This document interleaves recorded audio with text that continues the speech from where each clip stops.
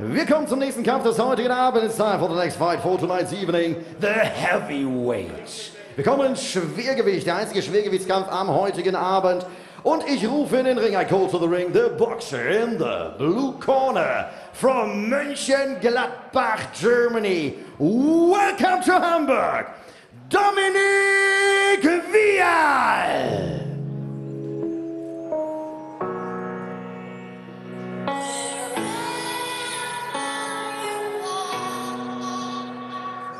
Für meinen Bruder. Du brauchst kein Glück, denn alles, was du verloren hast, erkämpftest du dir zurück. Und jetzt stopp mal, denn das hier ist kein Trauersong. Du hast den Kampf gegen Krebs gewonnen.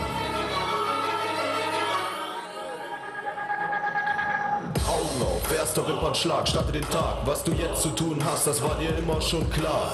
Fokus auf den Gipfel, denn da gehörst du hin. Herzlich willkommen, Ziel, Dominic Vial. Und nun zu seinem Gegner in der roten Ecke. And now the boxer in the red corner boxing for Universum Box Promotion. Er kommt aus Marbella. Welcome from Marbella, Spain. Tonight in the ring in Hamburg. Welcome, Senat Gashinga Gashi.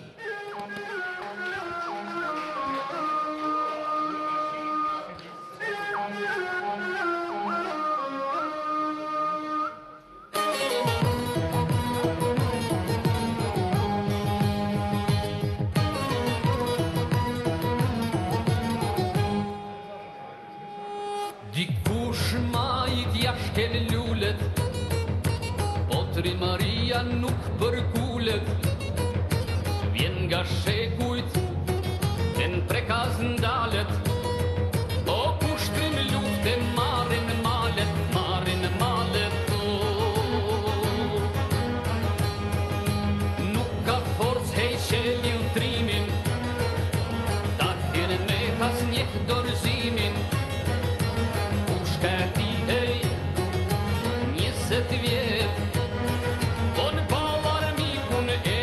Herzlich willkommen, welcome, Senat Gashinga Gashi.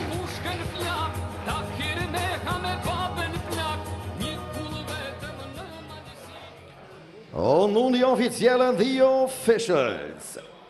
The judges, die Punktrichter Irene Kostenko, René Fiebig, Marco Morales. From Germany also the man in charge of the ring, der Referee Timo Habichhorst. Und nun zu den Boxern. The boxer in the blue corner is 28 years old, 2 meters high, 141 kilograms. 28 Jahre, 2 Meter groß, 141 Kilogramm. Seine Kampfbilanz, the fight stats, makellos, undefeated, 6 fights, 6 victories, 5 by the way of Knockout. 6 Kämpfe, 6 Siege, 5 davon durch Knockout. In seiner Ecke seine Trainer, in the corner his coaches, Frank Fehler und Amir Rahimi. Meine Damen und Herren, ladies and gentlemen, welcome from Mönchengladbach, Germany, Dominic Vial. Sein Gegner in der roten Ecke, the red corner, 31 years, 1 meter 83, 102.5 kilograms. 31 Jahre, 1 Meter 83, 102,5 Kilogramm. Seine Kampfbilanz. The fight stats, 23 fights, 20 victories and 20 by the way of knockout. 23 Kämpfe, 20 Siege und alle 20 Siege durch Knockout. Er tritt an für Universum Box Promotion in seiner Ecke. ist Sein Trainer Sergei Ostrowski, Ex-Weltmeister, former World Champion Juan Carlos Gomez und Cutman Dr. Tim Kuchenbuch. Meine Damen und Herren, herzlich willkommen. Welcome for Universum Box Promotion from Marbella, Spain. Senat Gashinga Gashi. Der Kampf ist angesetzt auf sechs Runden, six rounds of boxing. Die Boxer zur Mitte, the boxers to the center.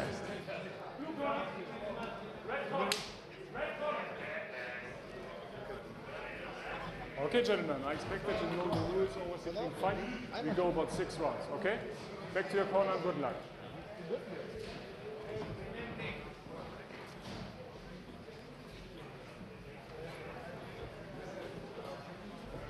The boxers sind bereit. The boxers are ready. So let the fight begin.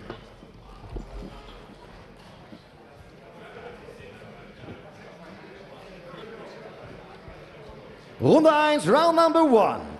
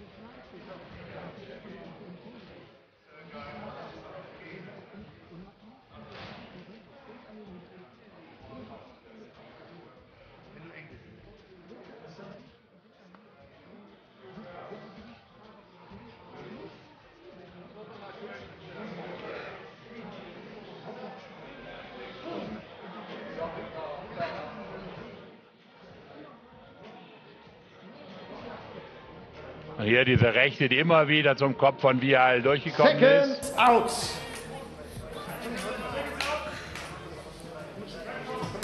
Ja, eigentlich die Runde Taktik 2, von round 2. Senat Gashi hat da hingehauen.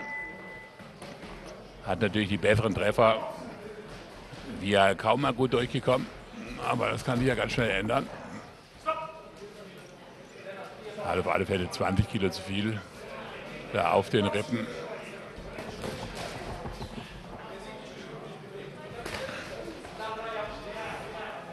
Aber ist schwer für Senat Gashi.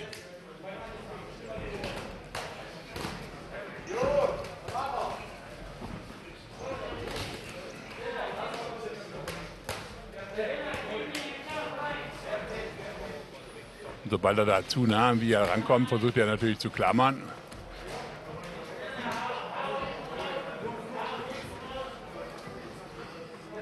David gegen Goliath. Auf alle Fälle. Bislang zieht er sich da gut aus der Affäre, der Senat Gashi.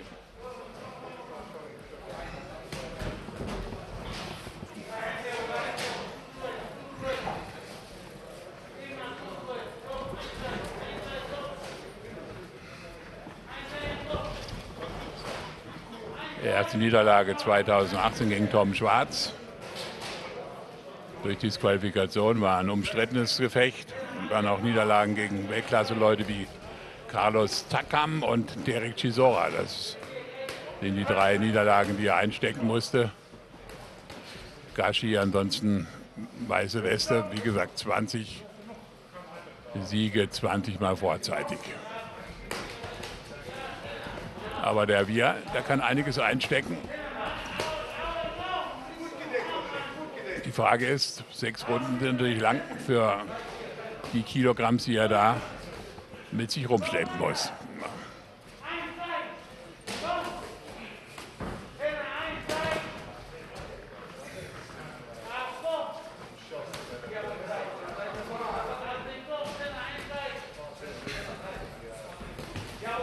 Man muss natürlich da an den langen Händen von Vial vorbeikommen. Der Senat Gashi.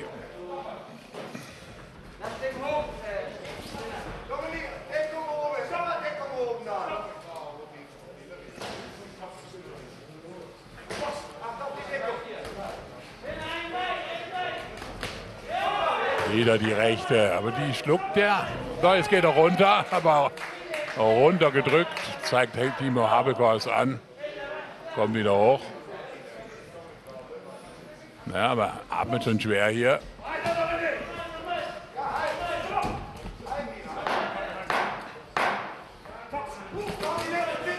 Ja, und wenn der Gashi merkt, dass da einer wackelt, oder, dann setzt er natürlich nach. Und boxerisch hat er mehr drauf als wir. Der, der drückt jetzt fast. Hat Gashi in der Ecke. Ja, schöner Kampf ist es nicht, aber was soll's. Gashi macht, was er kann und er hat hier, sobald Gashi sich aufs Boxerische konzentriert, dann doch Probleme, diesem anstürmenden kleinen Burschen da irgendwie Paroli zu bieten. Hier die rechte, auch in der ersten Runde schon ein paar Mal knaller durchgekommen. So, dann versucht er es halt hier mit Erstickungsversuchen. Seconds out.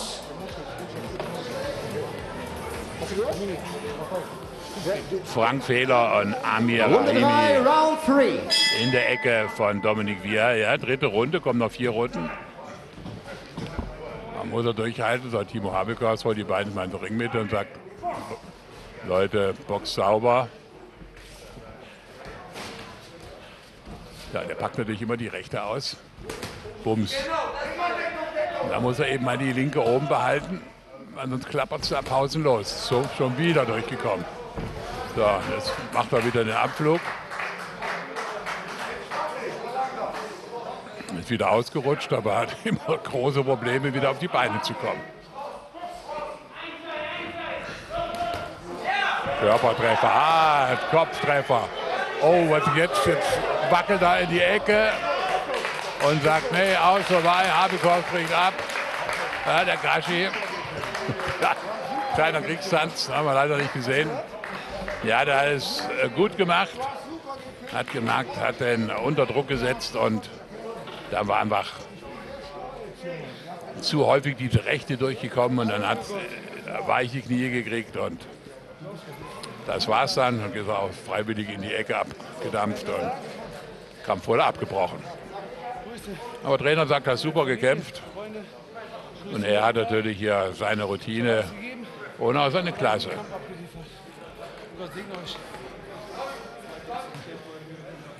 Naja, er hat einen guten Kampf abgeliefert, okay. So, hier die rechte.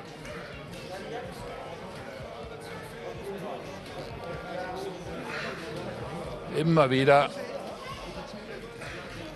So, und jetzt geht er da zu Boden und da hat er schon Probleme hochzukommen. Da hat ihm die Luft schon gefehlt. Und dann hier die rechte und nochmal die rechte. So, und jetzt kriegt er stachsige Beine, geht direkt ab in die Ecke und Timo Habigors macht das einzig Richtige, aber er hat auch abgedreht, also er wollte auch nicht mehr weiterkämpfen. Und bricht diesen ungleichen Kampf in allen Variationen ab. Boxerisch war er eine Klasse besser, Senat Gashi vom körperlichen, von den Kilos und der Länge. Vial klar im Vorteil, aber er konnte das nicht nutzen, weil er boxerisch einfach nicht in der Lage war, diesen nach vorne stürmenden Senat Gashi da irgendwie zu stoppen. No, der brannte von Anfang an. Wohnt in Marbella. Ja, groß, dieses Bridger-Gewicht, das wäre schon was für ihn. Warten wir ab. Ja, kann zuhauen, hat großes Selbstvertrauen. Und gegen Leute wie Chisora und Taka muss man erstmal antreten und gut aussehen. Also da können wir uns auf weitere interessante Kämpfe freuen mit Gashin Gang. 2020 hat er nur einen Kampf bestritten. Hier im Gym vorzeitiger Sieg über Ring Oldi Adnan Rezovic. Da immerhin 21 seiner 26 Kämpfe bis dahin gewinnen konnte. Auch den hat er vorzeitig ad acta gelegt. Meine Damen und Herren, kommt zur Urteilsverkündung. The results.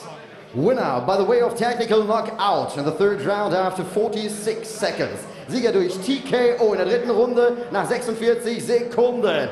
Und sein Premierenkampf im Schwergewicht hier Raphael Senat Gashinga Gashi.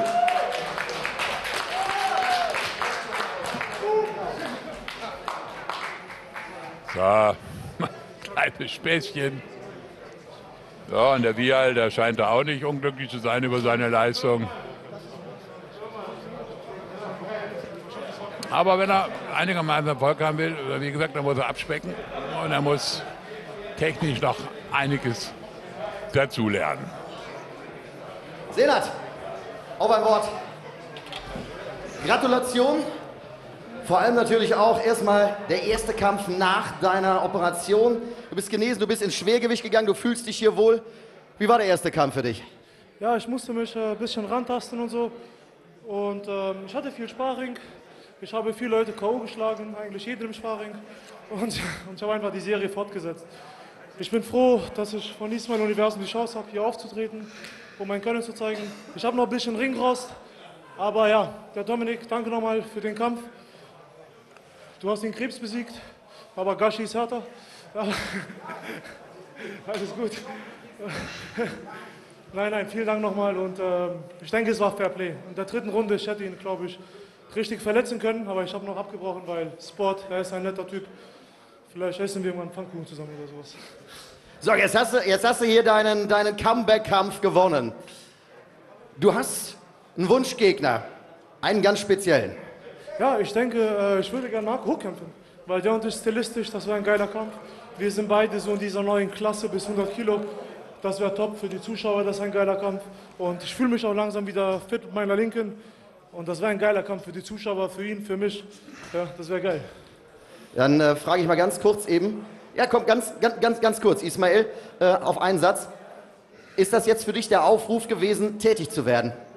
ja, wenn ein Boxer sich so wünscht und, äh, und er hat äh, sich auch bewiesen und äh, Senat Gash hat auch guten Leute äh, auch schon äh, geboxt, wie äh, Chisora und alle möglichen. Für deutsches Publikum und für deutsches Boxen wird es ein sehr interessanter, interessanter Kampf äh, werden. Also gerne, wenn er gegen Hook boxen würde. Aber wenn Hook sich äh, traut, Erzähl ihm, was passiert, wenn alle Schwergewichtler hier zum Sparring kommen, was Jose und ich mit denen machen. Bitte erzähl. Hier war noch kein Schwergewichtler in Deutschland im Gym, wo nicht das Gym K.O. verlassen hat. Von mir oder von Mr. Jose. Okay, alles klar. Also, wir werden später sowieso nochmal sprechen. Senat, wie immer, vollkommen auf 180. Gratulation, welcome back. Und Marco Huck hat's vielleicht gehört auf dieser Ebene und auf diesem Wege. Liebe Grüße in diese Richtung. Herzlichen Dank nochmal, Gratulation.